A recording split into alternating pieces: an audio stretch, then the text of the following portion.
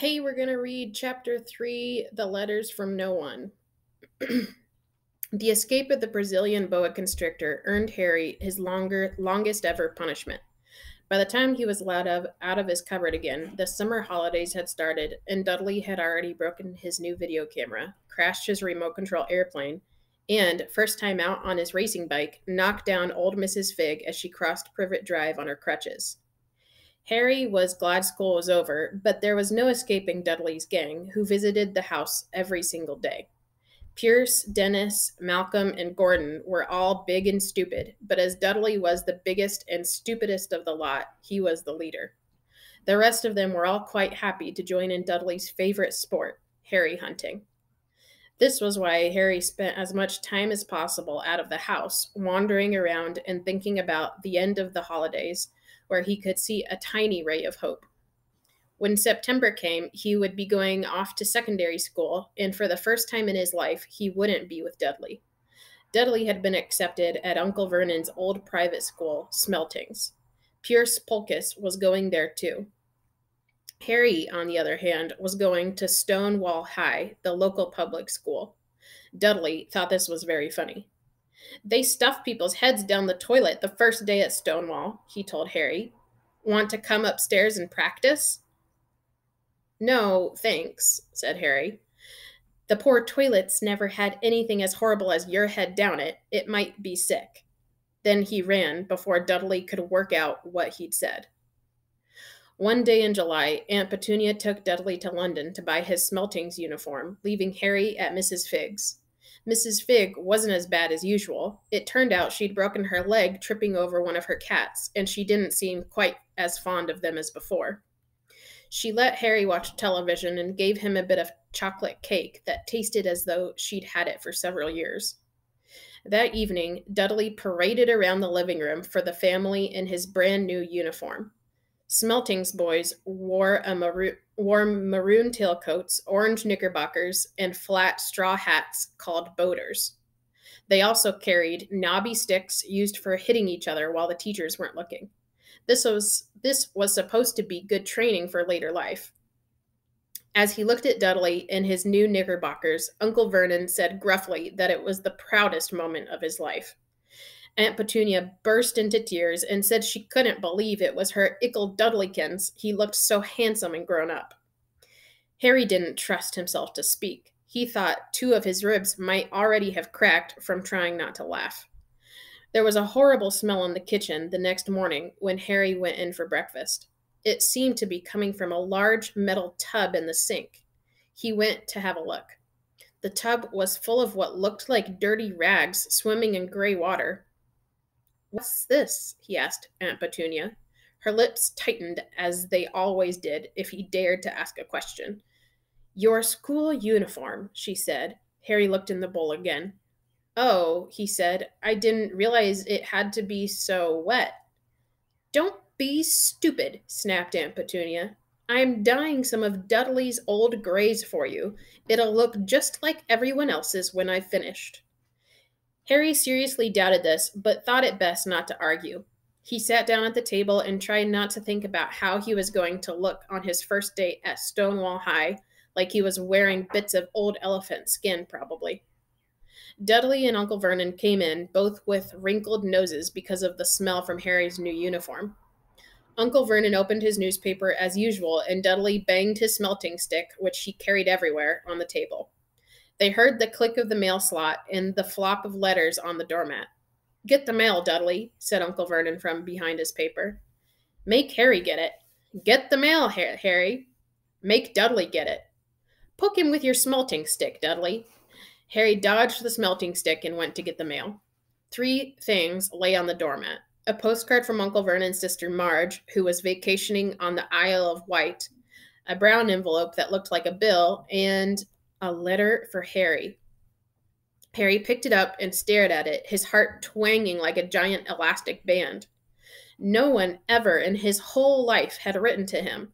Who would? He had no friends, no other relatives. He didn't belong to the library, so he'd never even got rude notes asking for books back.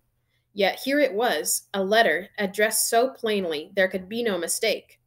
Mr. H. Potter, The Cupboard Under the Stairs, 4 Privet Drive, Little Whinging, Surrey. The envelope was thick and heavy, made of yellowish parchment, and the address was written in emerald green ink. There was no stamp. Turning the envelope over, his hand trembling, Harry saw purple wax seal bearing a coat of arms, a lion, an eagle, a badger, and a snake surrounding a large letter H. Hurry up, boy, shouted Uncle Vernon from the kitchen. What are you doing? Checking for letter bombs? he chuckled at his own joke. Harry went back to the kitchen, still staring at his letter. He handed Uncle Vernon the bill and the postcard, sat down, and slowly began to open the yellow envelope. Uncle Vernon ripped open the bill, snorted in disgust, and flipped over the postcard. Marge is ill, he informed Aunt Petunia. Ate a funny whelk. Dad, said Dudley suddenly, Dad, Harry's got something. Harry was on the point of unfolding his letter, which was written on the same heavy parchment as the envelope, when it was jerked sharply out of his hand by Uncle Vernon. That's mine, said Harry, trying to snatch it back. Who'd be writing you? sneered Uncle Vernon, shaking the letter open with one hand and glancing at it. His face went from red to green faster than a set of traffic lights, and it didn't stop there. Within seconds, it was the grayish white of old porridge. Petunia! he gasped. Dudley tried to grab the letter to read it, but Uncle Vernon held it high out of his reach. Aunt Petunia took it curiously and read the first line. For a moment, it looked as though she might faint. She clutched her throat and made a choking noise. Uh, uh, uh, Vernon! Oh my goodness, Vernon! They stared at each other, seeming to have forgotten that Harry and Dudley were still in the room. Dudley wasn't used to being ignored. He gave his father a sharp tap on the head with his smelting stick. I want to read that letter, he said loudly. I want to read it, said Harry furiously, as it's mine. Get out, both of you, croaked Uncle Vernon, stuffing the letter back inside its envelope. Harry didn't move. I want my letter, he shouted. Let me see it, demanded Dudley. Out, roared Uncle Vernon, and he took both Harry and Dudley by the scuffs of their necks and threw them into the hall, slamming the kitchen door behind them. Harry and Dudley promptly had a furious but silent fight over who would listen at the keyhole.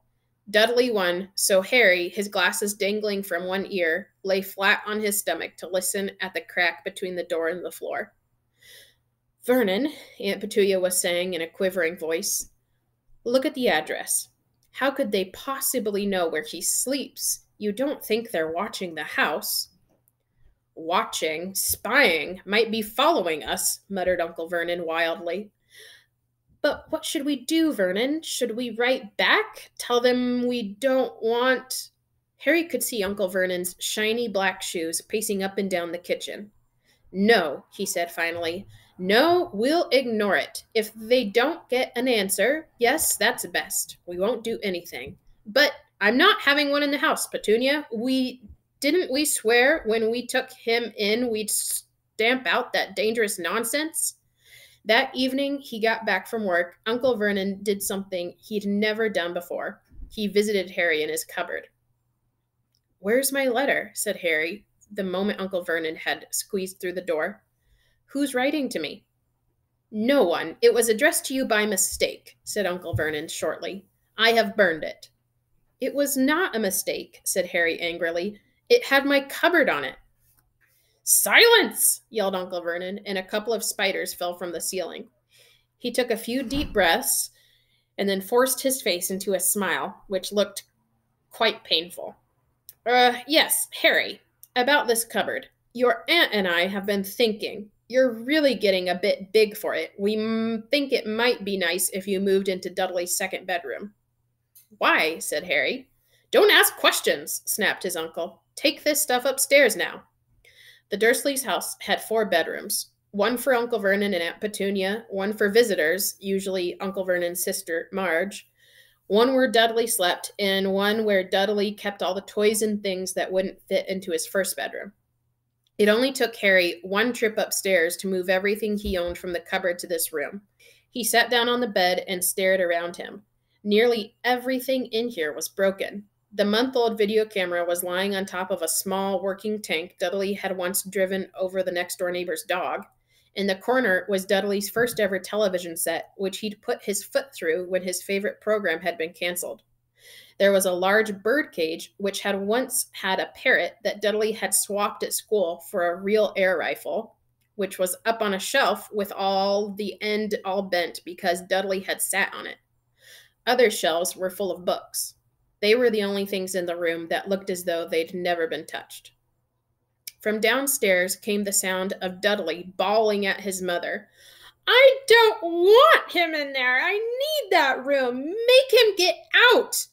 Harry sighed and stretched out on the bed. Yesterday, he'd have given anything to be up here. Today, he'd rather be back in his cupboard with that letter than up here without it. Next morning at breakfast, everyone was rather quiet. Dudley was in shock. He'd screamed, whacked his father with his smelting stick, been sick on purpose, kicked his mother, and thrown his tortoise through the greenhouse roof, and he still didn't have his room back. Harry was thinking about this time yesterday and bitterly wishing he'd opened the letter in the hall. Uncle Vernon and Aunt Petunia kept looking at each other darkly. When the mail arrived, Uncle Vernon, who seemed to be trying to be nice to Harry, made Dudley go and get it. They heard him banging things with his smelting stick all the way down the hall. Then he shouted, There's another one! Mr. H. Potter, the smallest bedroom, 4 Privet Drive. With a strangled cry, Uncle Vernon leapt from his seat and ran down the hall, Harry right behind him. Uncle Vernon had to wrestle Dudley to the ground to get the letter from him, which was made difficult by the fact that Harry had grabbed Uncle Vernon around the neck from behind. After a minute of confused fighting, in which everyone got hit a lot by the smelting stick, Uncle Vernon straightened up, gasping for breath, with Harry's letter clutched in his hand. Go to your cupboard. I mean, your bedroom, he wheezed at Harry. Dudley, go. Just go. Harry walked around and round his new room. Someone knew he had moved out of his cupboard, and they seemed to know he hadn't received the first letter. Surely that meant they'd try again, and this time he'd make sure they didn't fail. He had a plan. The repaired alarm clock rang at six o'clock the next morning. Harry turned it off quickly and dressed silently. He mustn't wake the Dursleys. He stole downstairs without turning on any of the lights. He was going to wait for the postman on the corner of Privet Drive and get the letters for the number four first. His heart hammered as he crept across the dark hall toward the front door. Ah! Harry leapt into the air. He'd trodden on something big and squashy on the doormat. Something alive. Lights clicked on upstairs, and to his horror, Harry realized that the big squashy something had been his uncle's face. Uncle Vernon had been lying at the foot of the front door in a sleeping bag, clearly making sure that Harry didn't do exactly what he'd been trying to do. He shouted at Harry for about half an hour and then told him to go and make a cup of tea. Harry shuffled miserably off into the kitchen, and by the time he got back, the mail had arrived right into Uncle Vernon's lap. Harry could see three letters address- addressed in red ink. I want, he began, but Uncle Vernon was tearing the letters into pieces before his eyes. Uncle Vernon didn't go to work that day. He stayed at home and nailed up the mail slot. See, he explained to Aunt Petunia through a mouthful of nails, if they can't deliver them, they'll just give up. I'm not sure that'll work, Vernon. Oh, these people's minds work in strange ways, Petunia. They're not like you and me, said Uncle Vernon, trying to knock in a nail with the piece of fruitcake Aunt Petunia had just brought him. On Friday, no less than 12 letters arrived for Harry. As they couldn't go through the mail slot, they had been pushed under the door, slotted through the slides, sides, and a few even forced through the window, small window in the downstairs bathroom. Uncle Vernon stayed at home again. After burning all the letters, he got out a hammer and nails and boarded up the cracks around the front and back doors so no one could go out. He hummed Tiptoe Through the Tulips as he worked and jumped at small noises. On Saturday, things began to get out of hand.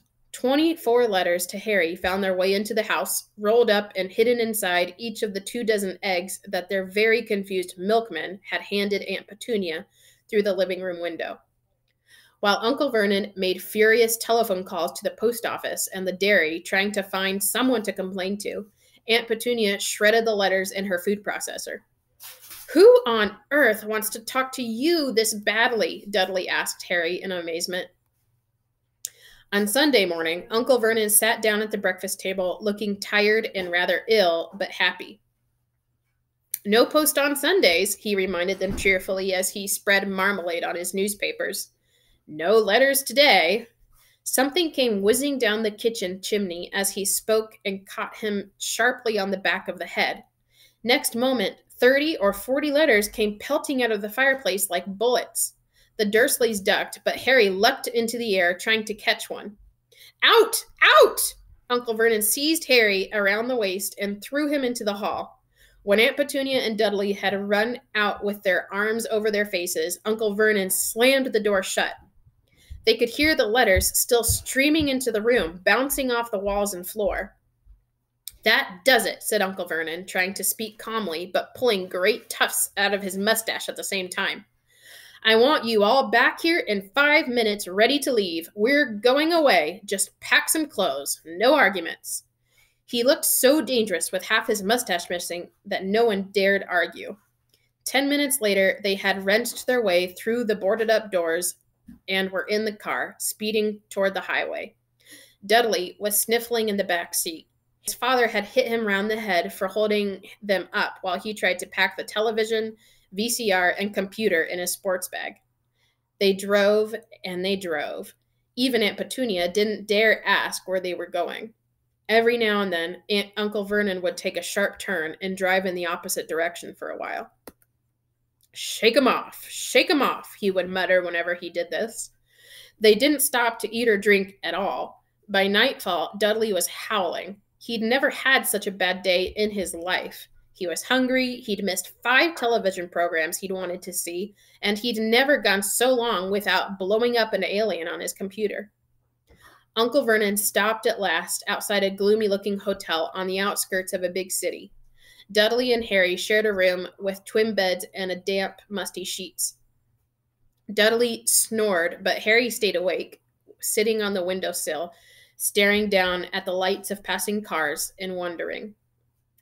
They ate stale cornflakes and cold tinned tomatoes on toast for breakfast the next day. They had just finished when the owner of the hotel came over to their table.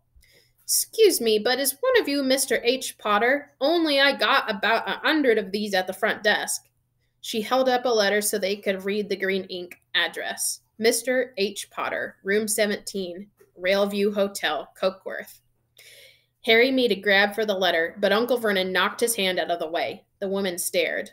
I'll take them, said Uncle Vernon, standing up quickly and following her from the dining room. Wouldn't it be better just to go home, dear? Aunt Petunia suggested timidly hours later, but Uncle Vernon didn't seem to hear her. Exactly what he was looking for, none of them knew.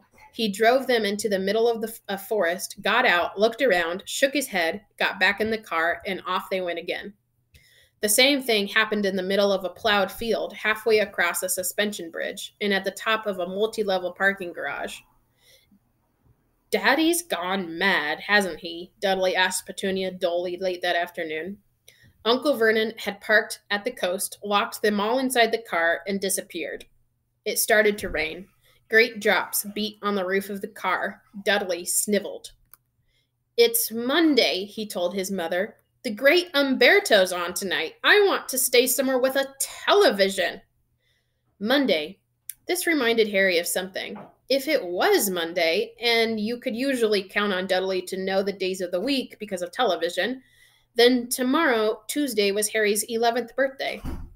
Of course, his birthdays were never exactly fun.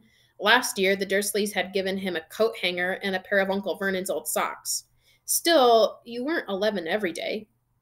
Uncle Vernon was back and he was smiling. He was also carrying a long, thin package and didn't answer Aunt Petunia when she asked what he'd brought. Found the perfect place, he said. Come on, everyone out. It was very cold outside the car. Uncle Vernon was pointing at what looked like a large rock way out at sea. Perched on top of the rock was the most miserable little shack you could imagine. One thing was certain there was no television in there. Storm forecast for tonight, Uncle Vernon said gleefully, clapping his hands together. And this gentleman's kindly agreed to lend us his boat. A toothless old man came ambling up to them, pointing with a rather wicked grin at an old rowboat bobbing in the iron gray water below them. I've already got us some rations, said Uncle Vernon, so all aboard. It was freezing in the boat. Icy sea spray and rain crept down their necks, and a chilly wind whipped their faces. After what seemed like hours, they reached the rock, where Uncle Vernon, slipping and sliding, led the way to the broken down house. The inside was horrible. It smelled strongly of seaweed, the wind whistled through the gaps in the wooden walls, and the fireplace was damp and empty. There were only two rooms. Uncle Vernon's rations turned out to be a bag of chips each and four bananas. He tried to start a fire, but the empty chip bags just smoked and shriveled up. Could do with some of those letters now, eh? he said cheerfully. He was in a very good mood. Obviously, he thought nobody stood a chance of reaching them here in a storm to deliver mail. Harry privately agreed, though the thought didn't cheer him up at all. As night fell, the promised storm blew up around them. Spray from the high waves splattered the walls of the hut, and a fierce wind rattled the filthy windows. Aunt Petunia found a few moldy blankets in the second room and made up a bed for Dudley on the moth eaten sofa. She and Uncle Vernon went off to the lumpy bed next door, and Harry was left to find the softest bit of floor he could and curl up under the thinnest, most ragged blanket. The storm raged more and more ferociously as the night went on. Harry couldn't sleep. He shivered and turned over, trying to get comfortable, his stomach rumbling with hunger. Dudley's snores were drowned by the low rolls of thunder that started nearly midnight. The lighted dial of Dudley's watch, which was dangling over the edge of the sofa on his fat wrist, told Harry he'd be 11 in 10 minutes' time. He lay and watched his birthday tick nearer, wondering if the Dursleys would remember at all, wondering where the letter writer was. Five minutes to go. Harry heard something creak outside. He hoped the roof wasn't going to fall in, although he might be warmer if it did. Four minutes to go. Maybe the house in Privet Drive would be so full of letters when they got back that he'd be able to steal one somehow. Three minutes to go was that the sea slapping hard on the rock like that? And two minutes to go, what was that funny crunching so- noise? Was the rock crumbling into the sea? One minute to go, and he'd be 11. 30 seconds, 20, 10, 9. Maybe he'd wake Dudley up just to annoy him. Three, two, one. Boom! The whole shack shivered, and Harry sat bolt upright staring at the door. Someone was outside, knocking to come in.